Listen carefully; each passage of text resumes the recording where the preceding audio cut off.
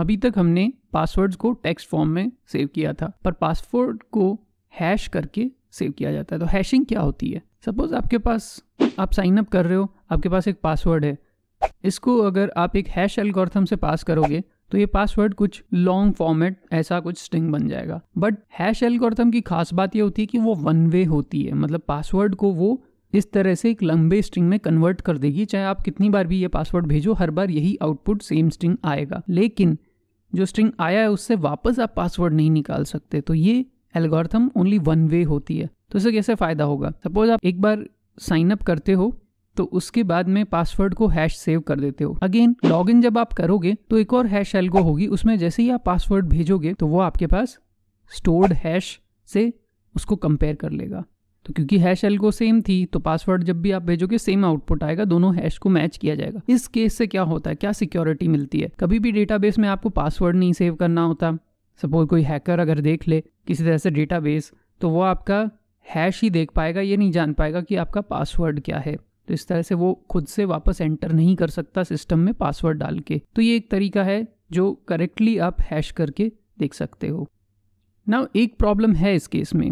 Suppose एक database of hashes है जो काफ़ी जगह पे पाया जाता है। ये हैकर्स मोस्टली एक टेबल की तरह रखते हैं। तो इस टेबल में बहुत से कॉमन पासवर्ड का हैश रखा जाता है क्योंकि एल्गोरिथम काफ़ी नोन होती हैं तो उनके अलग अलग तरह के हैश रखे जाते हैं। जैसे कि इधर हैश है, उधर उसका पासवर्ड है। सपोज़ हैकर को हैश मिल गया तो वो आपका पासवर्ड भी उधर से निकाल सकता है जस्ट बाई मैचिंग की प्रीवियस हमने कैसे टेबल में रखा हुआ था, यानी कैसे केसेस थे। तो इस चीज़ को तोड़ने के लिए कुछ होता है सॉल्ट सॉल्ट इसी प्रोसेस को और हार्ड कर देता है। जब आप हैश एल्गो में क्रिएट करते हो तो पासवर्ड के आगे, जैसे आपका पासवर्ड है कुछ, उसके आगे एक सॉल्ट यानी एक लंबा सा रैंडम स्ट्रिंग जोड़ दिया जाता है, ताकि आपका पासवर्ड और भी स्ट्रांग हो जाए और उसका हैश बहुत अजीब हो जाए। तो जैसे कि one two three four five six इसका तो हैश कहीं ना कहीं मिल ही जाएगा, लेकिन one two three four five six और उसके आगे एक रैंडम बहुत बड़ा सा स्ट्रिंग है तो ये आपका पासवर्ड हैश होके आ जाता है। हर बार वो सॉल्ट अपने आप सिस्टम ऐड करता है। तो इससे आपका हैश काफ़ी कॉम्प्लिकेटेड हो जाएगा। लॉगिन आप करोगे तो वैसी ही प्रोसेस अगेन होगी। पासवर्ड और हैश दिया जाएगा। हैश से जनरली सॉल्ट वापस से सिस्टम निकाल लेता है और इसी वजह से स्टोर्ड हैश और आपका हैश जब मैच होगा तो उस केस में आप लॉग इन कर जाओगे। तो सॉल्ट चीज़ों की कॉम्प्लेक्सिटी को ऐड करता है ताकि कोई भी चीज़ आप सीधे हैकर्स आपकी हैश टेबल या हैश एल्गोरिथम क्रैक ना कर पाएँ। तो हमारे प्रीवियस कोड में यहाँ पे पासवर्ड प्लेन टेक्स्ट में है, कहीं ना कहीं हम इसको बीक्रिप्ट यूज़ करके हैश करेंगे। तो बीक्रिप्ट लाइब्रेरी का डॉक्यूमेंटेशन देख लेते हैं। तो यहाँ पे सबसे पहले तो आपको इसको इंस्टॉल करना होगा तो N P M install bcrypt तो इससे ये आपके प्रोजेक्ट में इंस्टॉल हो गया। इसके बाद आप देखोगे इसमें एसिंक मेथड है। अभी मैं ए सिंक मेथड पे इतना फोकस नहीं कर रहा बट जनरली वो यूज़ करना चाहिए, उससे आपका सर्वर ब्लॉक नहीं होता। पर मैं सिंक मेथड यूज़ करूँगा ईजीनेस के लिए।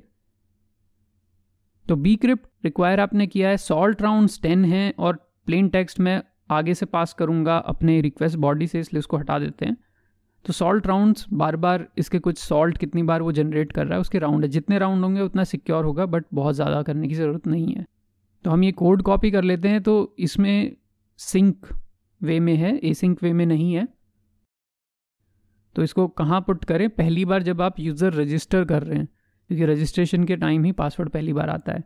तो हैज़ सिंक यहाँ पे आपका request dot body dot password और सॉल्ट के राउंड्स तो आपको पता ही हैं कि टेन आपने ऊपर डिक्लेयर कर रखे हैं। तो ये पूरा आपका हैश बन जाएगा। यहाँ पे आप हैश पुट कर दीजिए पासवर्ड की जगह तो पासवर्ड की जगह आप उसका हैश सेव होगा। तो हैश सिंक लाइन से आप सीधे सीधे जनरेट कर सकते हैं। अब रजिस्टर करते हैं एक नया यूज़र इसको टेस्ट करने के लिए। तो यहाँ पे कुछ नया नेम जॉन हम यूज़ करते हैं वन टू थ्री अभी कुछ एरर है, शायद सर्वर स्टार्ट नहीं है। तो सर्वर एक बार स्टार्ट करते हैं वापस। वापस सेंड करते हैं। अभी भी कुछ इशू है। ये कह रहा है data must be string and salt must either be a salt string और नंबर ऑफ़ राउंड्स तो कुछ तो हमने सिंटेक्स में मिस किया है। तो हैज़ सिंक में आपको केवल सॉल्ट का राउंड देना होता है सॉल्ट खुद ही जनरेट हो जाता है। तो वैसे तो हमने सही फ़ंक्शन यूज़ किया, पर ये स्ट्रिंग नहीं था। तो स्ट्रिंग कर देते हैं, अब वापस भेजते हैं। आई थिंक अब प्रॉपर होना चाहिए बट सर्वर रीस्टार्ट करना पड़ेगा। अब भेजा।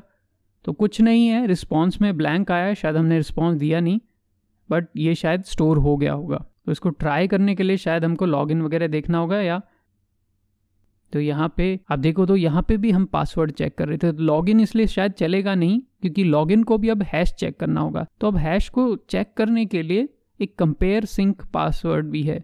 तो बी क्रिप्ट कंपेयर सिंक हम यहाँ यूज़ कर सकते हैं। इसकी जगह हम उसको पुट कर देंगे।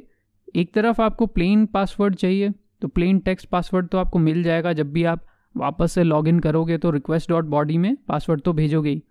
यहाँ नॉट लगाना ज़रूरी है, क्योंकि यहाँ पे तो इनकरेक्ट पासवर्ड हमने लिखा है। तो यहाँ पे पासवर्ड जो ऊपर से आ रहा है और हैश कहीं से लाना पड़ेगा। तो हैश वापस से कैसे जनरेट होगा? वापस से जनरेट की ज़रूरत नहीं है आपके।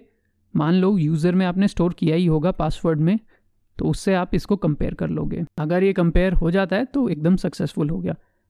तो अब यही दोनों combination of user name and password को लॉगिन में ट्राई करते हैं। तो अभी तो अनऑथराइज आ रहा है, कुछ इशू है। रजिस्टर में एक बार वापस से देखते हैं, क्या इशू है। मैं जॉनी नाम से एक नया रजिस्ट्रेशन करता हूँ। यहाँ ये रजिस्ट्रेशन हो गया इसका तो फाइंड करके देख लेते हैं। तो यहाँ पे आप देखोगे तो अभी वन तो यहाँ पे आपको अभी कोई हैश दिखाई नहीं दे रहा है तो शायद टर्मिनल में कुछ हमको हैश प्रॉपर दिखाई नहीं दे रहा है। एक बार यहाँ पे थ्रो एरर करके देखते हैं कि क्या एरर आ रहा है। तो यहाँ आ रहा है। तो इसमें एरर आ रहा है कि user validation failed password cast to number failed तो पासवर्ड नंबर में है, उसका कुछ इशू आ रहा है, उसको नंबर में वो कन्वर्ट करना चाहता है। तो यहाँ पे कुछ इशू है, देखते हैं हमारे कोड से इसका क्या रिलेशन है। तो यहाँ पे नंबर में हमने लिखा था पासवर्ड तो हमारी स्कीमा का इशू था। तो स्कीमा में मैं पासवर्ड को स्ट्रिंग कर देता हूँ, इस वजह से सारी गड़बड़ हो रही थी। तो अब ये सब प्रॉपर चलना चाहिए एंटर करते हैं। एक नया यूज़र ये बन जाएगा। यहाँ आप पासवर्ड देख रहे हो हैश में आ रहा है। काफ़ी लंबा पासवर्ड जबकि हमने वन टू थ्री फोर लिखा था, लेकिन हैश में ये इस तरह से सेव होगा। अब इसी से देखते हैं तो ये हमारा सेशन भी चल रहा है। आप देख रहे हो यूज़र नेम सेशन काम कर रहे हैं, यानी ऑथेंटिकेटेड है लॉग आउट कर लेते हैं। लॉग आउट करने के बाद वापस से, एक बार लॉग इन करके देखते हैं इससे, वापस से सेम हैश चेक हो गया। सेशन में देखते हैं, वहाँ से आगे से हमारा सेशन वापस से चल रहा है। इस चैनल पे हम देखते हैं इंटरेस्टिंग कोड कॉन्सेप्ट्स और उनके एग्ज़ाम्पल कोड्स अगर आप और ऐसे वीडियो देखना चाहते हैं तो सब्सक्राइब कीजिए।